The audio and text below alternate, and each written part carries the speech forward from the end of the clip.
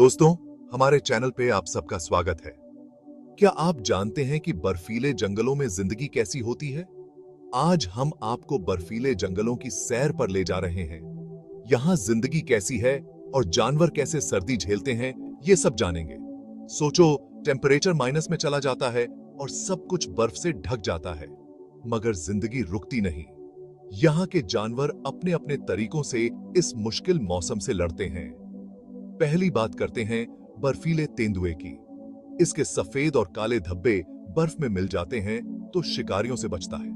अब देखते हैं बर्फीले जंगल के एक और बाशिंदे को हिमालयी भूरे भालू। ये भालू सर्दी से पहले ढेर सारा खाना खाकर शरीर में फैट जमा कर लेता है।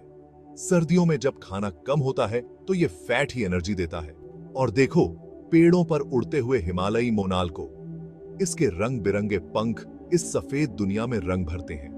यहाँ के पेड़ पौधे भी खास तरीके से ढले होते हैं। जैसे बर्फीले इलाकों के चीड़ के पेड़, उनकी पत्तियाँ सुई जैसी होती हैं ताकि बर्फ़ टिक न सके।